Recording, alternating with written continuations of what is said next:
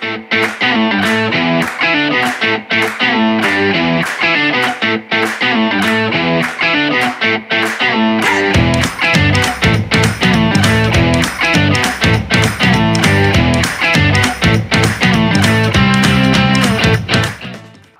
uh, buenas tardes. Uh, mi nombre es Russell Keith-Magee. I come from Whadjuk Noongar country, uh, otherwise known as Perth, Australia, the little red pin down the bottom corner of the map there. Uh, I'd like to thank the entire PyCon Colombia team, uh, especially Gonzalo, for the invitation to speak here today. I have had the opportunity to speak to pieces of the Python community all over the world, uh, but no matter where, where it is, it's an absolute honour to be able to add another pin to that map. But who am I, who am I anyway? Uh, well, in my day job, I am a senior data engineer at Survata. We are a market research company. We use Python and data science to help brands to understand their customers. They give me the flexibility to come to and attend conferences like this one, so that's something I'm very thankful for. If you've heard my name before, it may be because I've been involved with the Django project for 13 years. Uh, I joined the core team in 2006. I was president of the Django Software Foundation from 2010 to 2015, and I served on the Django Technical Review Board for the 1.7 through 1.11 releases. Django is a big part of the broader Python ecosystem, but it's not the only part. Django isn't the only Python web framework, and web programming isn't the only thing people do with Python, as we've heard over this weekend. In my current day job at Survata, I actually don't use Django at all, but I do make extensive use of NumPy and Jupyter and Pandas and the ecosystem of tools around those libraries. And there are many other uses of Python. There are projects for using Python on embedded devices. There are libraries for performing astronomical calculations, biotech, gene sequencing. It's used as a scripting language for operating system automation and as a teaching language. None of this happened overnight. Python as a language is 25 years old. It took maybe 10 years for Python to gain significant traction in our industry, and another 10 before it gained really widespread support. But that persistence is paying off. In September of 2017, Stack Overflow published a blog post talking about the huge growth of popularity of Python. Uh, Python is the red line on that chart. Uh, JavaScript is the yellow line with modest growth. The other languages, Java, C Sharp, PHP, C++, are all fairly static over that period of time. The growth that Python has shown here is impressive. Interest in Python almost tripled in six years. And that's not we went from one user to three users, so we have 300% market growth. The starting point was a market the same size as PHP and C++. Stack Overflow's projection was that this growth curve wasn't going to flatten out, that we're still in the growth phase. And the Stack Overflow numbers are backed up by other sources. Uh, as of January of this year, Python is the number three language on the TIOBE index. It's a measure of pop, uh, programming language popularity. It's jumped two places since the Stack Overflow report was published. It's also worth noting where other popular languages fall on that list. JavaScript is at 6, Swift is at 15, Go is at 16, Ruby is at 18, Rust is at 33. And the popularity numbers drop off exponentially. So there's a two and a half times factor difference between Python at position 3 and JavaScript at 6. Now, these are metrics, and they are popularity metrics at that. They are not objective measures of truth. These numbers do not mean that Python is the third best language or that other languages are rubbish. The idea that you can reduce the entire programming landscape to a single popularity metric is laughable. But metrics like these do serve as an interesting starting point for a larger discussion. Take a look at the TIOBE list again. Notice the languages on top Java and C. Notice the languages immediately below Python, C++, Visual Basic.NET. They are not the hot languages that set Hacker News abuzz with excitement, but they are languages that are going to be with us for a very long time. What is remarkable about Python's success is that it has achieved its current level of popularity without being officially blessed or supported anywhere. Python isn't installed by default on Windows, and it's only quite recently that you could use Python on Windows reliably at all without spelunking in the registry. Python is installed by default on macOS, but it's Python 2.7, and Apple isn't showing any signs of upgrading that anytime soon. C was and still is the default, system, uh, default language for cross-platform systems programming, and C++ builds on that. Java is the default platform for enterprise, whatever that means. C Sharp and Visual Basic are Microsoft's chosen platforms for system and user code. But Python? Python doesn't have a historical legacy like C. It's not popular because it's just there and installed everywhere. And no single company dominates or controls the platform the same way that Oracle controls Java or Microsoft controls C Sharp. That means, as a community, we're not beholden to the interests of any one corporate master. But that's also a problem. Just as we're starting to reach this point of popularity, the computing market is changing, and we don't have a large player making our case. When Python emerged as a language, a computer was a large box that sat on your desk or maybe in a rack in a server room. Over time, that box has gotten a lot smaller and you started carrying it around in your backpack, but it was basically still the same operating system, Windows or a Unix derivative. Over the last 10 years, we have seen the emergence of a whole new class of computing devices, much smaller and often portable, things like phones and tablets and watches and set top boxes. And we've seen the emergence of the web browser as a computing platform in its own right. But you can't use Python on any of those platforms. Never mind that it's hard to get Python going on Windows or Mac for the first time, you can't install Python at all on an Android or iOS device or in the browser. These new devices are becoming ubiquitous and they are replacing laptops. My son started high school last year. His school requirements said he had a computing device, but he doesn't have a laptop, he has an iPad. Phones and tablets are achieving market, market penetration that desktops and laptops have never seen. And at the same time, vendors are changing the way that they look at programming languages and positioning themselves for a world where laptops either don't exist or are niche devices. On desktop platforms, Windows, Linux, MacOS, you're free to use whatever language you want. Yeah, okay, sure, there's preferred languages on each platform, but you can install other language runtimes and any other language can target your installer tooling. But that's not true on mobile platforms. The mobile vendors are pushing very specific ecosystems. Google wants you to use Java or Kotlin. Apple wants you to use Swift. The platform tooling only supports one language. Installation occurs through an app store. If you want to use something outside the blessed languages and tooling, you are completely on your own. The flip side of Python's independence from corporate masters is that there isn't a corporate master making a hole for Python. And as a result, Python isn't a solution that is available in this new world. I think we need to start seriously looking at the future and asking what we see as Python's role in that future. If we're intending for Python's success to continue, how are we going to maintain and grow our market when the devices people are buying can't run Python? What is the future of Python? The existence of this platform trend is one of the reasons that I changed the focus of my open source contributions a few years ago. I developed my reputation working on Django, but these days I'm spending most of my volunteer time on the BeeWare project. For those who haven't come across it, it's been mentioned a couple of times this weekend. Um, for those who haven't come across it, BeeWare is a collection of open source tools and libraries for creating native user interfaces in Python for desktop operating systems, but also for iOS, Android, single page web apps, and other new hardware platforms. And a key part of that work is getting Python to run on those platforms, on phones and tablets, at all. Now, this is a big project. Uh, I have been working on BeeWare for almost five years now, and there are days where I really do feel like the mythical Sisyphus pushing his great big boulder up the hill.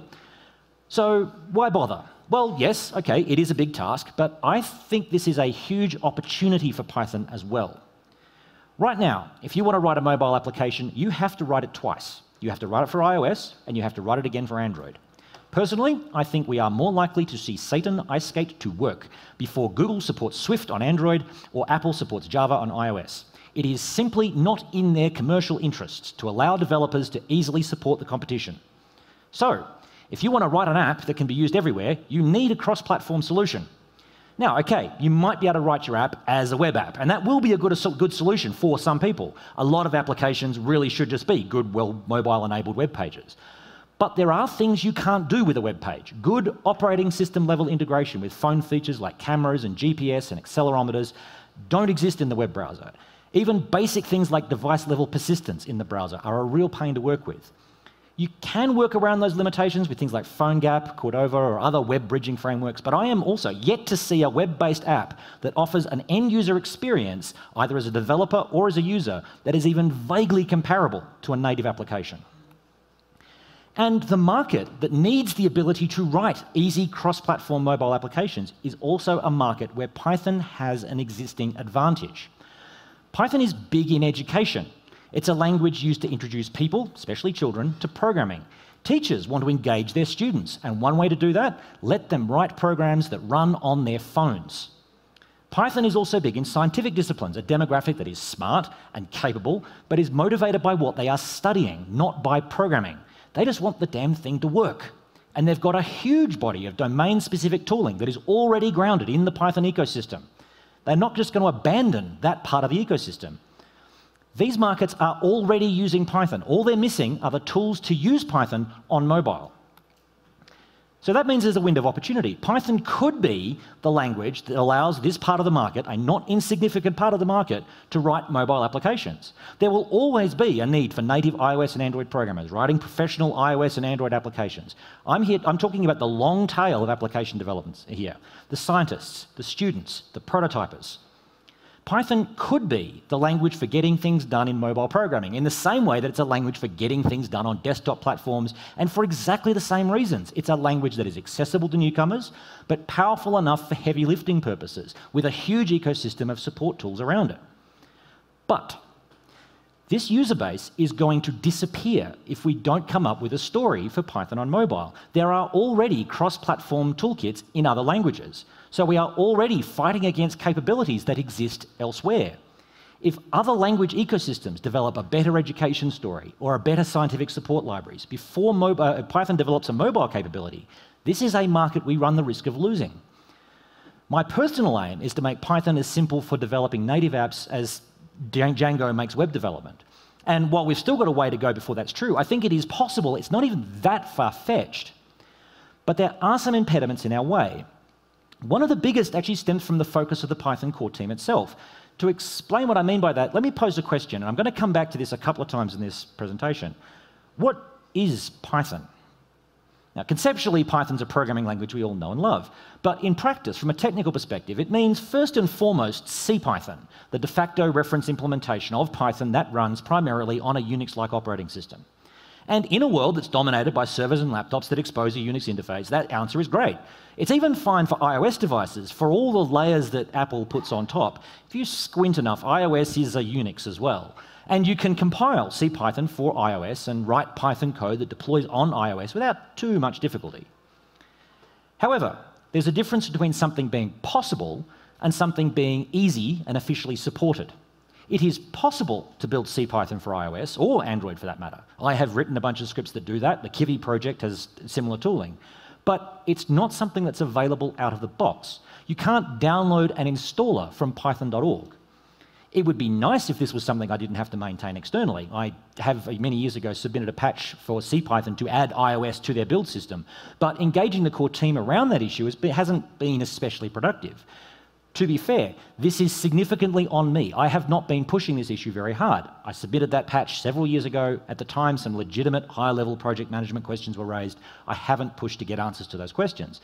But part of the reason I didn't pursue it vigorously was that the level of engagement I've seen around this problem was indicative to me that the core Python, the CPython core team either doesn't see this as a major problem that needs to be addressed, or they don't have the resources to address it.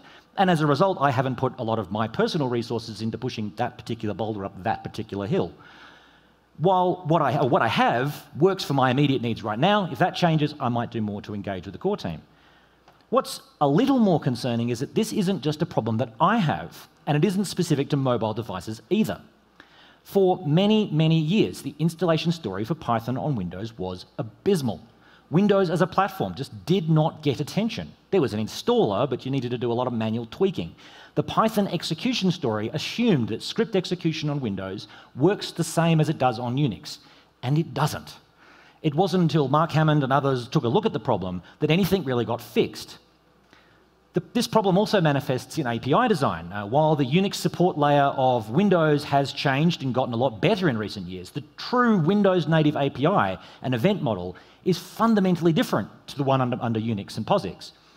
But the implementation of the banner feature of Python 3.4, async IO, is very tightly bound to the Unix event and socket model. In theory, sure, it's got an API with a base class and a Unix specific implementation of that base class, but the design of the base class almost assumes that the implementation will be Unix sockets. That means integrating the async IO event loop with a, a native user interface event loops is relatively easy on Unix and macOS and iOS, but on Windows, it's really hard. There's a fundamental design disconnect. The problem also exists when you look at Python as being more than just CPython. Now, when we say the Python core team, it's easy to think of that as a language specification team, but it usually effectively implies CPython as an implementation. But there are other implementations of that language spec, Jython, IronPython, PyPy, and others. And if you're working on an alternate implementation of Python that doesn't use C, the C focus of the Python core team can be a problem. Uh, Maciej Fijalkowski is a member of the PyPy core team, uh, the JIT optimized, uh, optimized, Python interpreter. And he recently tweeted, My prediction, the inability for the Python community, especially numerics, to support multiple faster runtimes will lead to the decline of Python in scientific computing somewhere in the future. To clarify what I mean, the reliance on the CPython C API, which exposes interpreter internals, is a major impediment against all other implementations, real or hypothetical.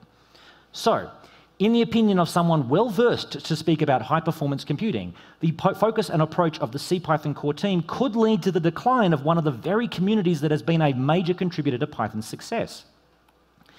In my opinion, what we're hitting here is a fundamental problem with the way Python is developed. It's reactive, not proactive. If we were to take a poll of the Python core team and ask, is it important for Python to work well on Windows? I would be willing to wager that every single one of them would say yes. But if you ask the same developers, are you personally motivated to make Python work better on Windows? I would bet the answer will be no, except maybe for Brett Cannon, Steve Dower, Eric Snow, and Dino Viehland, the members of the core team that work for Microsoft. And even those responses would likely be qualified by whether or not Windows integration was on their product roadmaps for their work at Microsoft. The development process for Python is primarily reactive, not proactive it tends towards addressing immediate problems that exist right now or directly serve the current interests of those few employers that are paying for contributions to Python. It is less effective at addressing strategic problems that we might foresee. Free and open source projects talk about contribution being driven by people scratching their own itches, that people use a project, find a problem, and they resolve that problem by contributing code to add a feature or fix a bug. Scratching itches is a good way to rationalize why someone will fix one specific bug or add one specific feature. But it doesn't explain how you ensure that the strategic and forward looking plans are made and explored. Sometimes fixing a problem requires a significant chunk of time for a redesign or a refactor. How do you find that time? It takes a lot of discipline to put aside what you personally find interesting and compelling so that the long term interests of a project are looked after. It takes a lot of effort to convince your boss to fund an engineering activity that has a long term payoff for someone else. When Google or Dropbox hires Guido, for example, they do so primarily to ensure that a tool they are currently using continues to be useful. Any new or novel applications of Python, applications that expand Python's reach or usefulness, those are of secondary interest. And what happens when you know you've got an itch, but you don't have the skills to scratch that itch? It is very difficult to fix problems on Windows if you don't own a Windows laptop, or if you're not sufficiently familiar with the Windows ecosystem to judge if something works the way a Windows native user would expect. What happens when you don't even realize you've got an itch? Like, because of your lack of training in a particular area or exposure to a particular audience, you don't even realize that a problem is occurring and it needs to be and can be resolved. The current Python core team is primarily driven by the needs of the CPython implementation. And in the desktop driven world, that's what most people mean when they say Python. But it can't be true of Python going forward because CPython may not be an option on many of the platforms of interest in the future, or at least not as currently framed. Now, I also want to be very, very clear here. I do not say these things as an accusation or as blame. The Python core team is doing an amazing job doing the absolute best they can with the resources that they have. I raise these issues as something that I, as someone outside the CPython core team, perceive as a strategic risk to Python as a whole. I raise them as issues that I see as an impediment to progress on my own projects and where I see the future of Python heading. I want Python to survive and thrive, but I also know this is a goal shared by the many people who work on the Python core team. I will not for a second doubt that the many people in, who work on Python, from Guido all the way down, focus on what they do and work on what they do with the very best of intentions, prioritizing what they see as important, making the best use of the resources they have as they see. Unfortunately, it isn't always obvious that this is well understood. Let's come back to this foundational question. What is Python? More specifically, why does the core team, core team change what Python is? Why do they add new syntax or new operators or new standard library features? Because they want the language to get better. They see patterns of usage that are prone to bugs or can be simplified. Take the with statement, for example. It is a syntactic representation of a pattern of usage. In use, it means that users don't forget to close files when they open them. The syntax change protects the user from resource leakage. The core team makes changes like this with the perspective of a group that is paying close attention to how the language is being used and abused in the real world you may have noticed that your, if it's something that you are responsible for, gets a lot more of your attention than it would otherwise. If you are working on a product, you see all the little bugs and defects that average users just don't see. The Python core team, they see that with Python, and they have considerable experience in the field. The problem is, many of the proposals they make and, and implement are met with distaste, derision, and in some cases, outright hatred in, in the Python community mailing lists.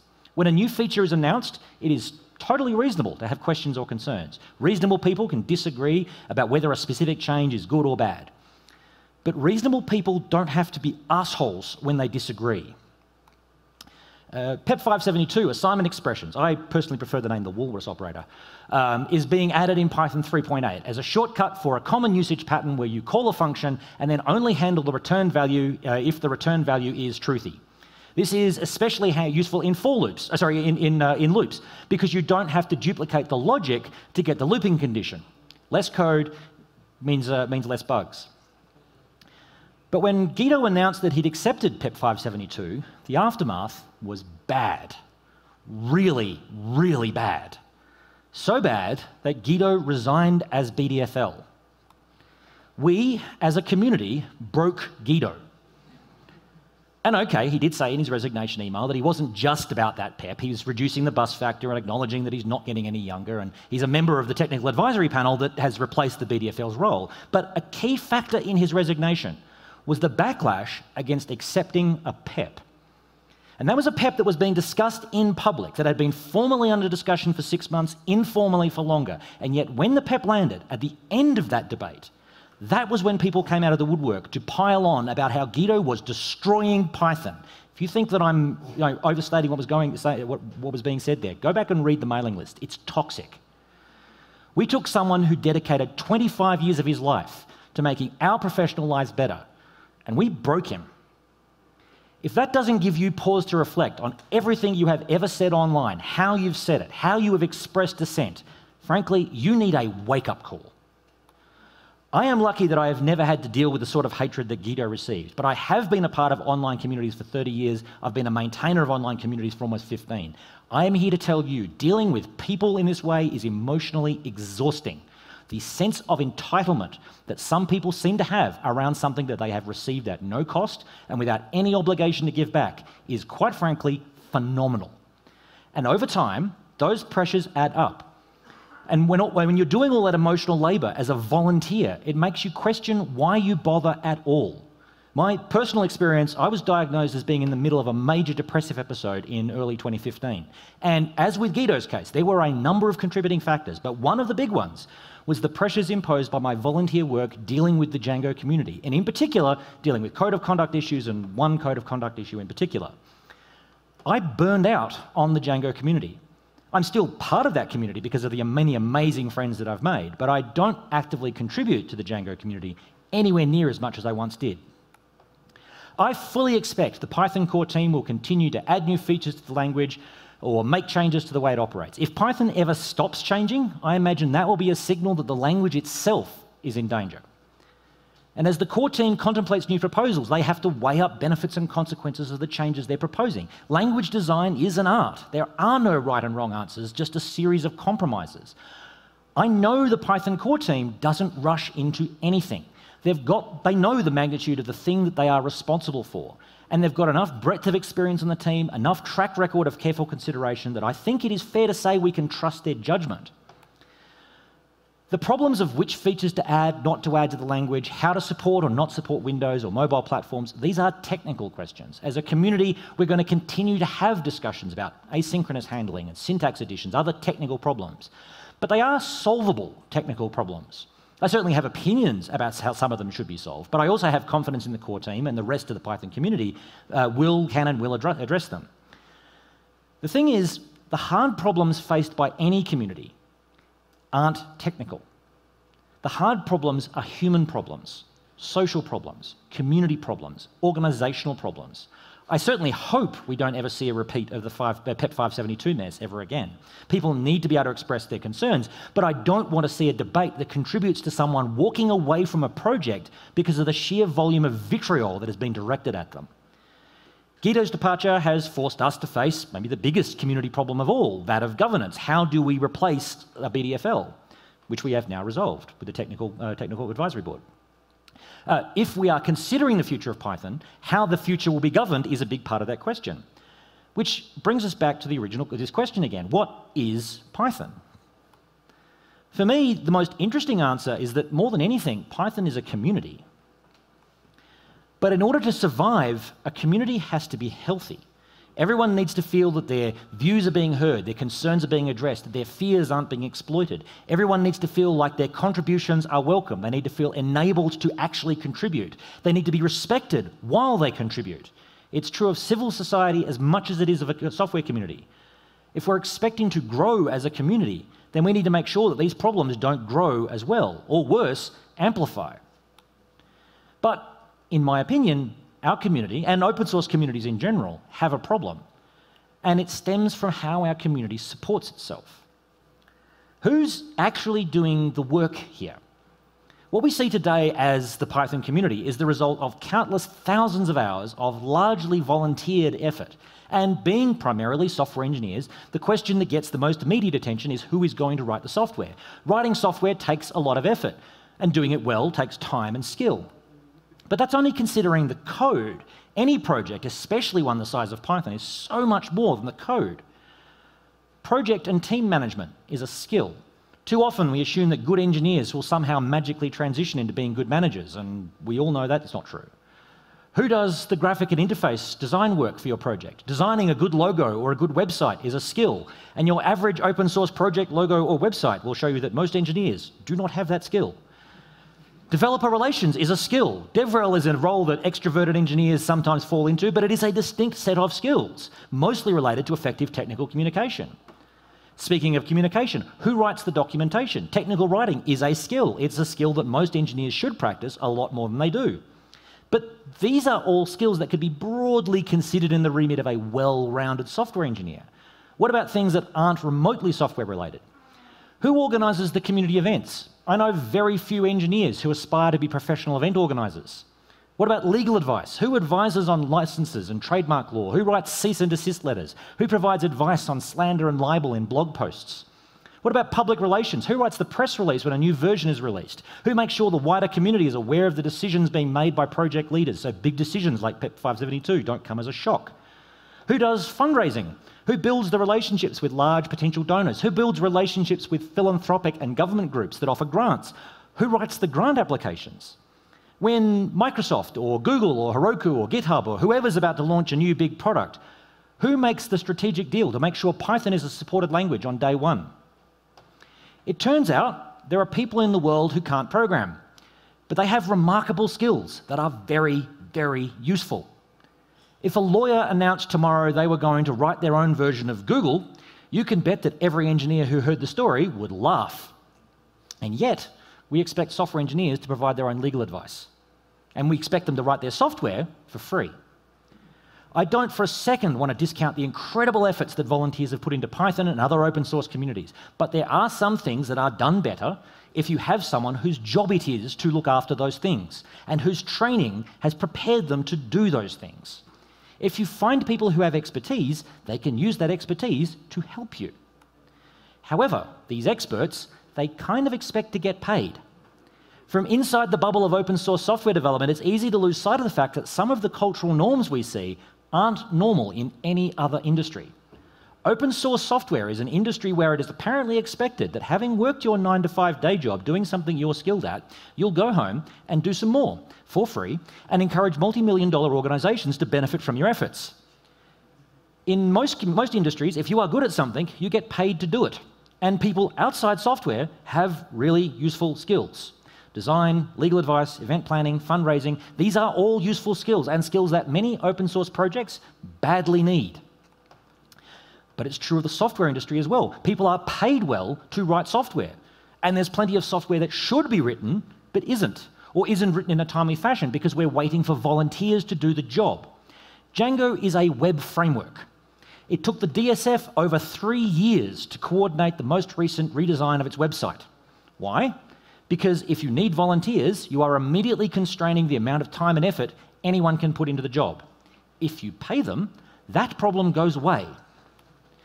More importantly, what opportunities have we left on the table because we didn't resource them adequately? What constraints have we placed on our own growth because nobody was enthusiastic enough to volunteer their time to address some gap or make the most of some opportunity? How many potential users has Python lost because the window installer was so bad for so long? Who have we excluded from the development process because they couldn't justify donating all their spare time to a volunteer effort?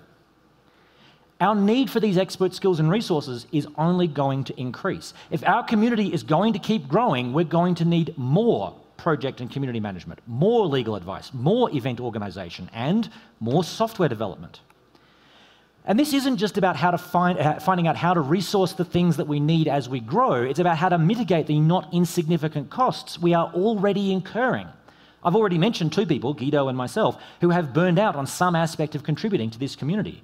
I can think of dozens of others who have had very similar experiences. Are we as a community comfortable that we are doing this to our peers or our leaders or to anyone for that matter? Do we want to build our community on the expectation that volunteers will give of themselves until they burn out? Or do we want to find a way to make sure that people who are able to do good work in our community have the resources to do that work well and access to others with skills in other areas? This, unfortunately, brings up a very uncomfortable question for the Python community and more broadly, free and open source. I've been saying resources here, but let's be clear. What we're really talking about, the big resource, is human resources, people. And what we're really talking about there is money. People aren't resources. Their labour is a resource, and in a fair economy, it's a resource that they need to be paid for. But if someone's going to be paid, someone needs to be doing the paying. The messy questions of free and open source is who pays?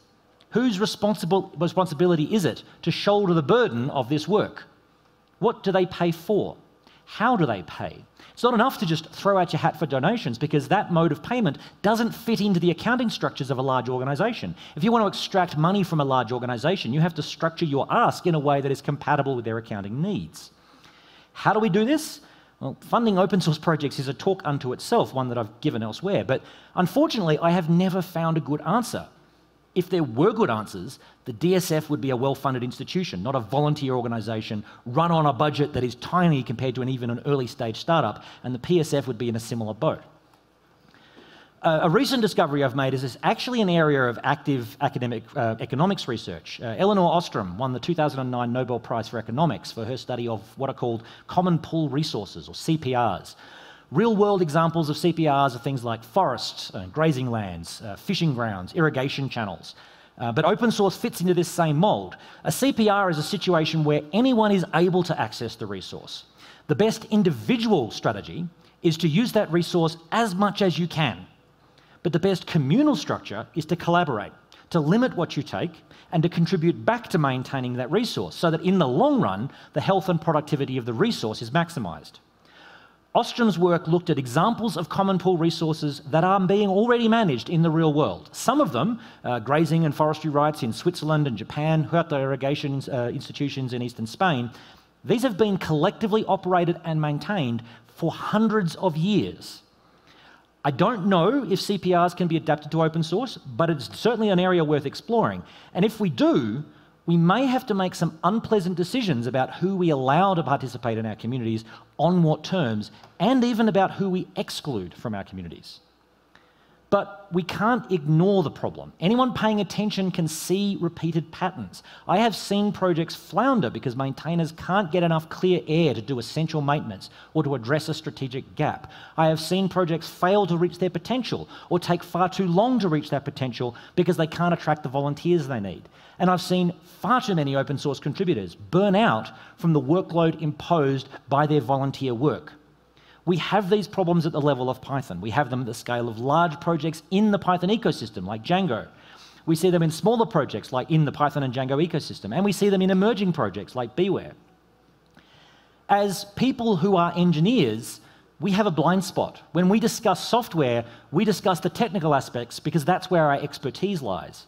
We focus on the software, but not on how the software is made. The free and open source software movement stems from questions about what users should be able to do with their software. The freedom to share and modify that software is key.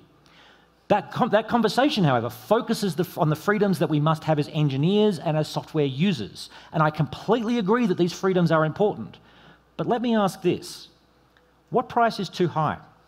If free software induces or encourages people to burn out, is that acceptable?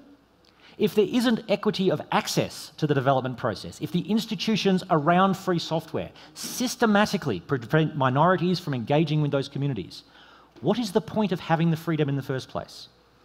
We can't afford to focus on software freedom to the exclusion of other factors. In order to have those software, that software freedom, the software needs to exist.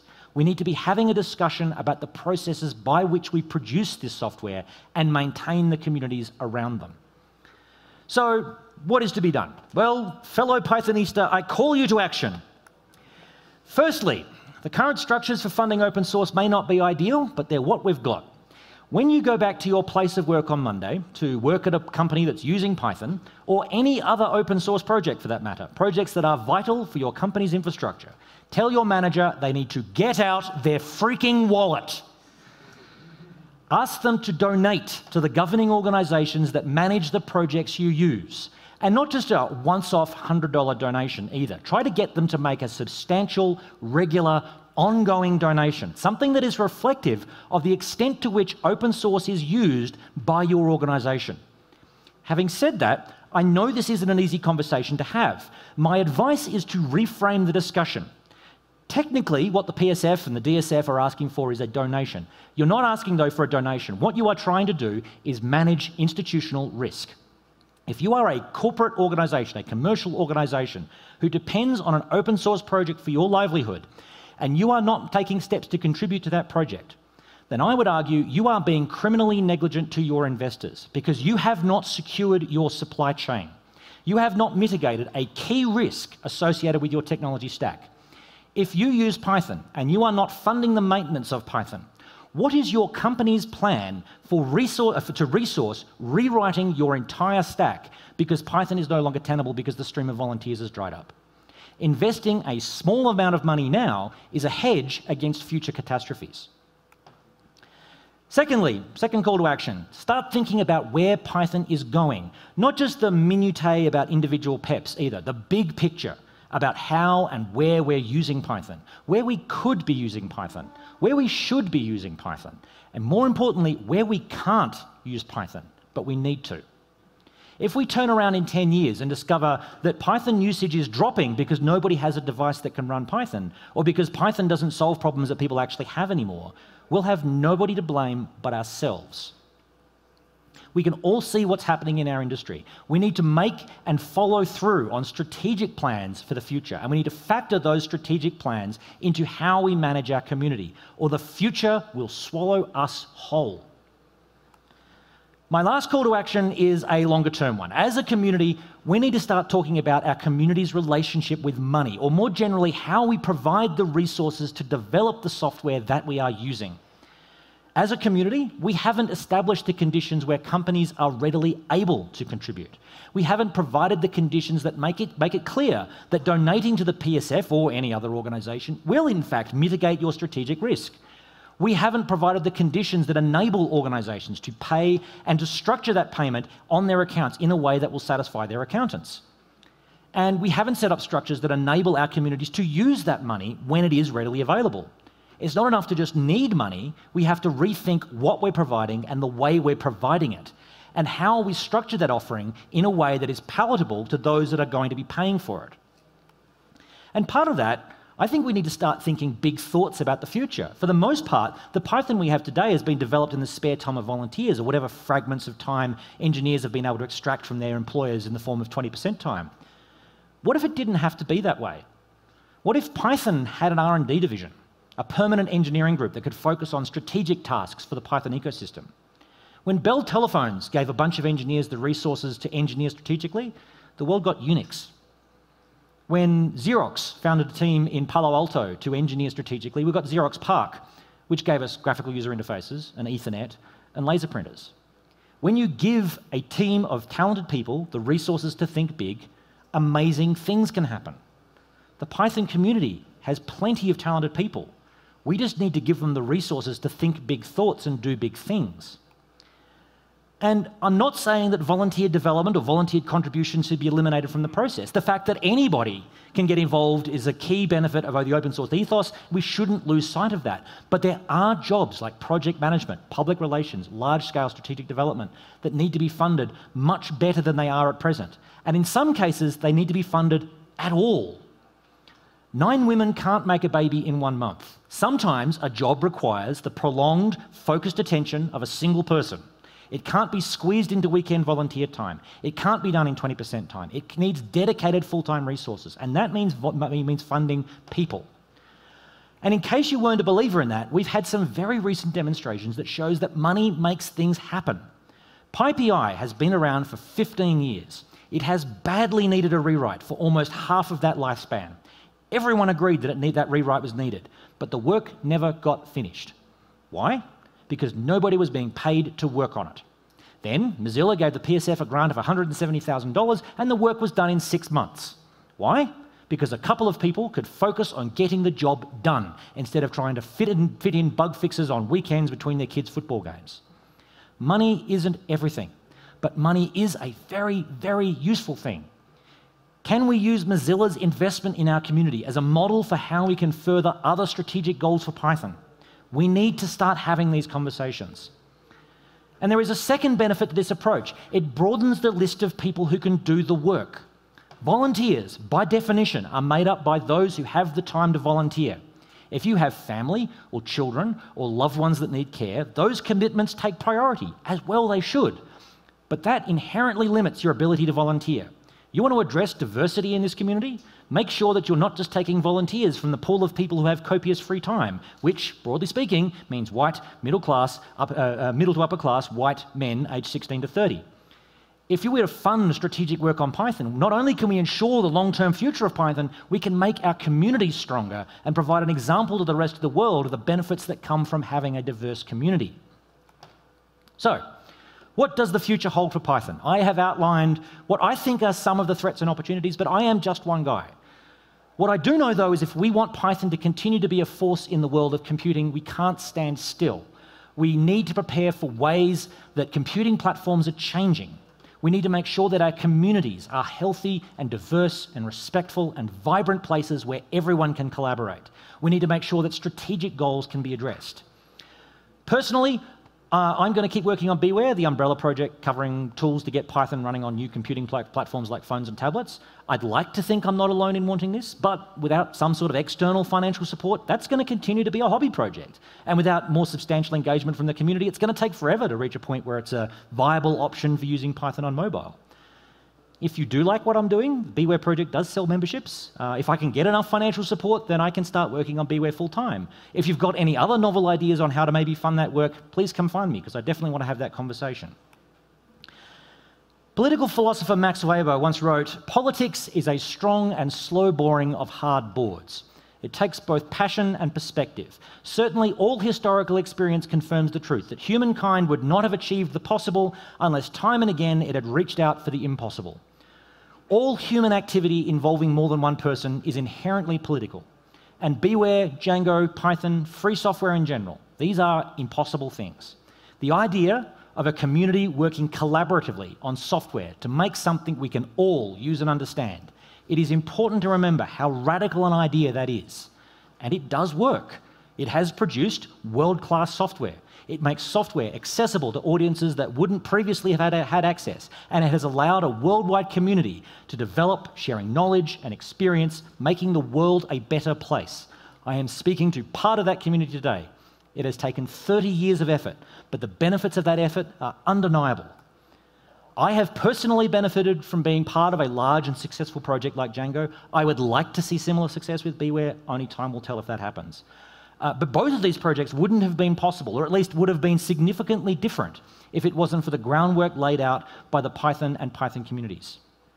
Uh, I'm very keen to make sure that groundwork doesn't go away. It has taken 25, 30 years to get where we are today, and it would be a shame to have to develop it all over again simply because we didn't pay attention to the way the world was changing around us and plan for how tomorrow's Python is going to fit into the future that is evolving around us.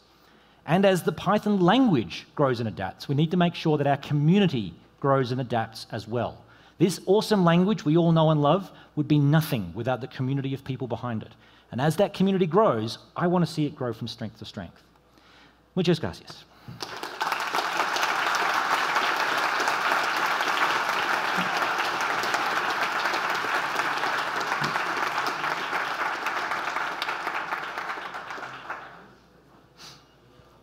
Thanks a lot for the talk, Russell. So we have some time for questions, like 10 minutes. So raise your hand, please.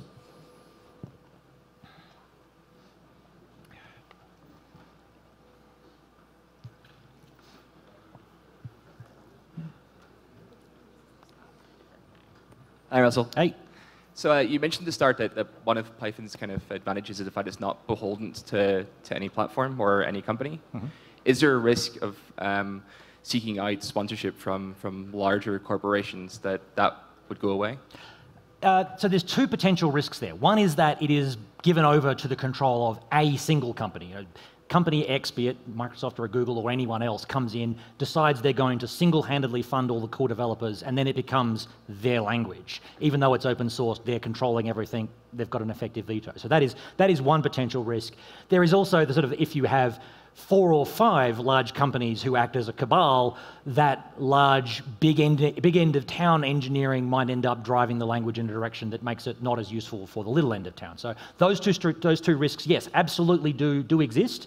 Uh, and part of the governance problem is trying to work out how do you structure the community such that we can get their money without necessarily having to cede complete control to them. That said, it may be necessary to cede some control to them over some things. What exactly that constitutes, I don't know. I don't know that I have a, a, concrete answer. But the, the absolute position of there must be no corporate involvement is not a helpful position because, like it or not, large corporates use our software. So they need to be involved. We just need to make sure we don't divest all of our control in exchange for the money to get the job done. Thank you very much. Okay, hello. Uh, I have a question about, um, uh, now that you say that money is really important to grow uh, open source project and, and keep the community, the community running. To be clear, I don't say that money is okay. important. Having the resources is important, and how we get the resources is money, because that's how our economy works. So yeah, yeah, yeah well, yeah, uh, they're similar. Right? Yeah. yeah. Okay. So do you think that location also matters? Because I mean, if someone's trying to start a community in up in Bay Area, probably you will have more resources than if you are in any other place in the world. Do you, what, what, do you think about the location? Uh, Did you see that map earlier? Uh, I come from what is collectively known as the most isolated capital city in the world. Uh, from my hometown, it is a three-hour flight to the nearest state capital and a five-hour flight to the nearest national capital. I am, by every definition, out in the middle of nowhere, and yet I am part of a worldwide community. Location is helpful if you want to physically get people in one space, and the fact that I had to fly 38 hours to get here is certainly not an experience that I enjoy. I enjoy being here. The flights, however, can get knotted.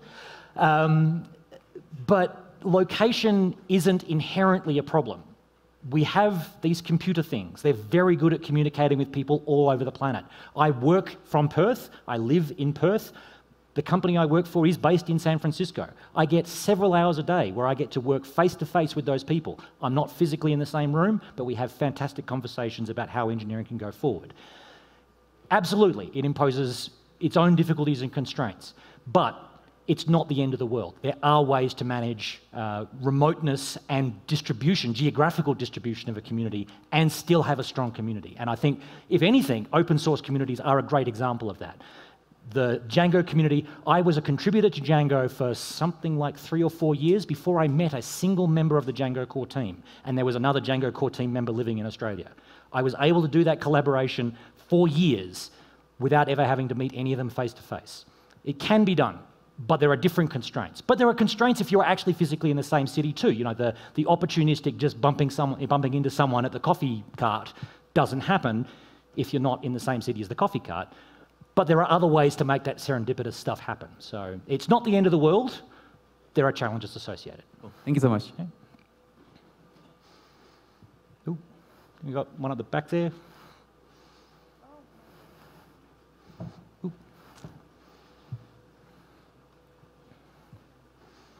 Uh, so there are a few different models that have popped up to sort of solve this issue, namely uh, GitTip and support contracts like Red Hat style. Mm -hmm. Which one do you see being having the most potential for the Python community in particular?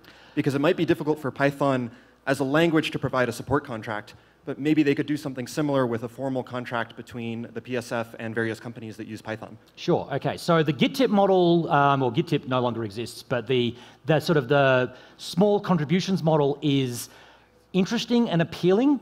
I am slightly concerned about it on the basis that it seems to place the focus on individuals placing donations. You know, I donate $10 to make sure Python is healthy. And that's great, but my employer should be the one who's paying a large amount of money. I should be paying if I am using Python for my hobby game project or something. My employer should be paying for the Python they are using as part of the multi-billion dollar company that they're building.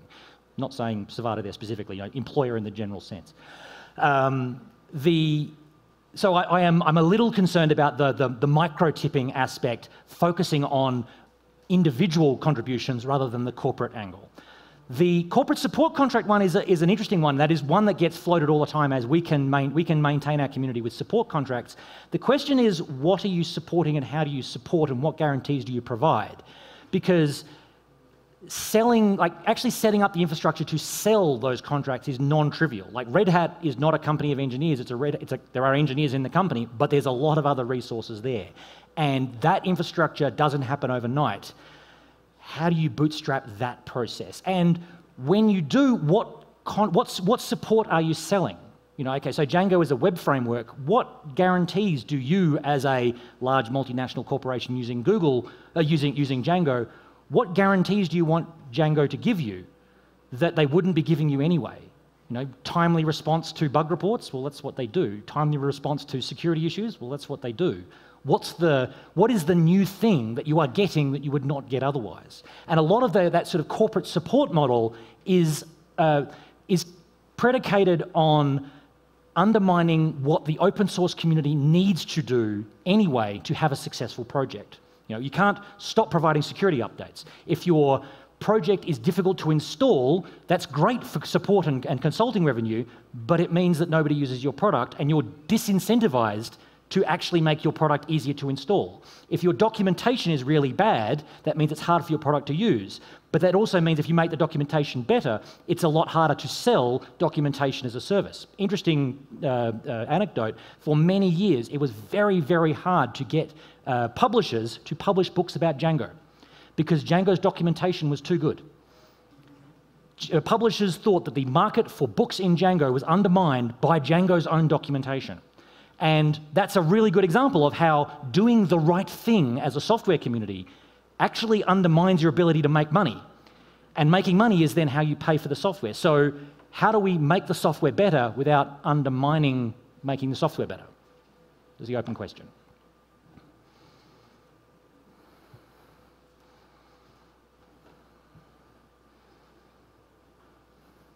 All right. Is that it? Well, I have a question. Oh, okay.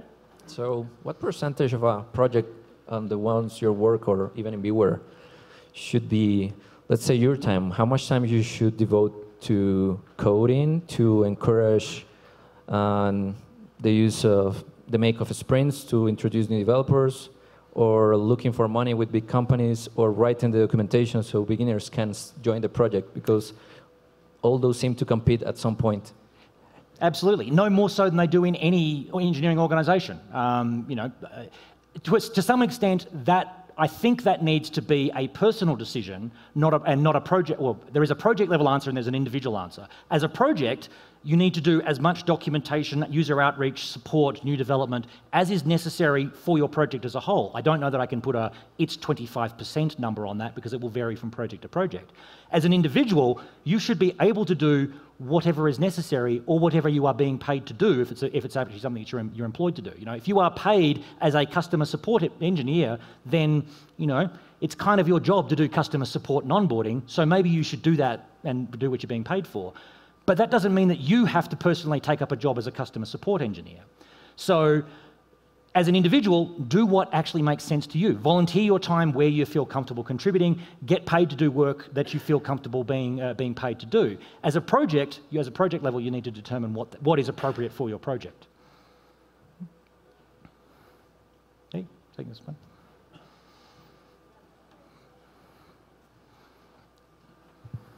Hi. Well, uh, there is anything you could have done to avoid the burnout of uh, contributor in the project of Django or anyone else in the open source community? Um, so that's a hard question to answer um, because it is ultimately a very personal one. Uh, I have given a talk, um, if you want to search on, online for I Am Not a Doctor, there's a talk that I gave uh, at DjangoCon US um, in 2015 identifying your own sources, your, your own triggers, identifying, be, being, being self aware and knowing who you are and what your triggers are and what the signs are that you are not dealing with things well uh, is the immediate answer to that. Um, I am now, as a result of the therapy and things that came out of my depressive episode, I'm now much more aware of what is going on in my head. Um, and I wish 2019 Russell could talk to 2013 Russell about that uh, to help avoid some of those problems. And some of that means knowing when to walk away and when to hand off, and as a community, making it more acceptable to walk away from things. Uh, providing the frameworks for that to happen. Uh, one of the after, interesting aftermaths of my depressive episode uh, was that I did step down as DSF president. Um, and in subsequent discussions that were happening about the structure of the, Python, of the Django core team, I was very much advocating the idea that, um, uh, that any position that we have is not until the end of time. It's not like benevolent dictator for life is actually an anti-pattern because for life doesn't have an endpoint. Um, but if you say this is a one-year position or it's a you know, until the next release position, you have then institutionalized the expectation that at the end of that period, we're going to ask, are you sure you want to keep going? And that's a big change. That's an important distinction. Making that, that regular check in to say, are you okay continuing? Do you actually want to continue, or are you doing this out of a sense of obligation? That's a, that's a big change that I, uh, well, the, the, the, D, the, PSF no longer has that problem because Guido has stepped down as B, uh, BDFL. A lot of the other structures around the PSF and the DSF are inherently time limited. But if you are in a project or in, a, in an open source community where there isn't a natural exit point, that's one big change that I would suggest you should, you should definitely take a look at.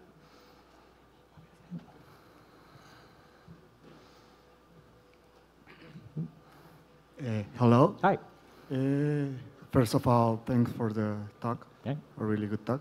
Uh, I want to ask you. Uh, you talk about well, well uh, we are as a community uh, in the process of growing we must uh, invite people of other areas to not only to learn how to use Python, but as you mentioned, to help us grow as a community, mm -hmm. to help us grow as a project.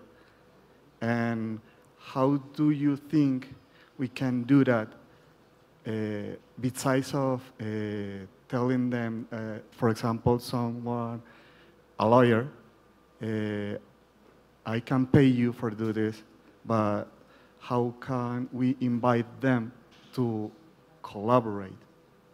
Um, I actually think that's the exact that's exactly the wrong way to look at it. Um, we shouldn't be asking a lawyer, graphic artist, whoever, to volunteer their time to our, to our benefit. I think we should be structuring our communities in such a way that we can pay them to what they, for what they do. I think the anti-pattern we have is that we expect that software developers will work for free, and for whatever daft reasons, for some reason, we do. Uh, so therefore, everyone else should work for free. And that's not how everyone else expects things to operate. I think we need to switch that operation of the expectation of free labour so that if you wish to contribute free, labour, go right ahead. Now, if you want to, if you do want to contribute something, or you think that's a valuable way of improving your community or whatever, go right ahead and do that. But if there is something that is actually needed by the community, then that can be paid for. That it's not draining everyone's volunteer resources to do that. And that then means when the lawyers get involved or the artists get involved or whatever, that they are paid and respected, their time and resources are respected, just as much as the software engineers should be. Right. Hi, Roman Prokopchenko here. Hi. So, uh, you said that the, there's always a chance that one company donates a lot, well, not donates, that pays a lot to a PSF or mm-hmm. another institution that makes Python and then gains too much control of that and drives Python in their direction. Yes. Uh, however, you know, there is another situation, and uh, it happens in the real world. In let's say OpenStack Software Foundation, mm-hmm. uh, which has a lot of funding from different companies, and it has money for designers, for lawyers, for all other people who work for money. Mm, but then uh, all those companies actually expect from the community to do something and they pursue their interest. They have their people working in that community for money.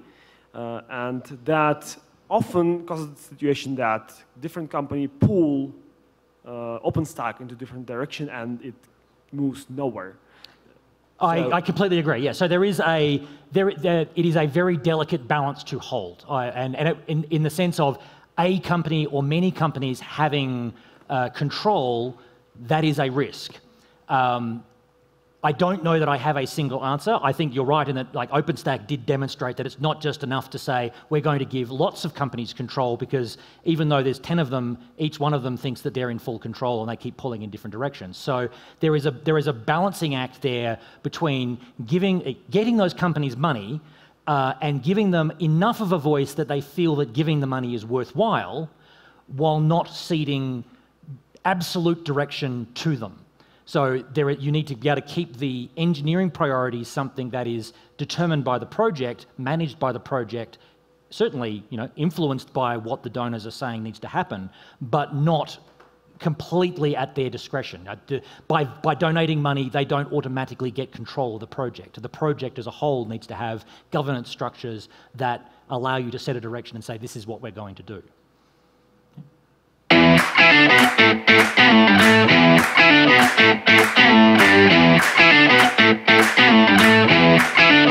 you.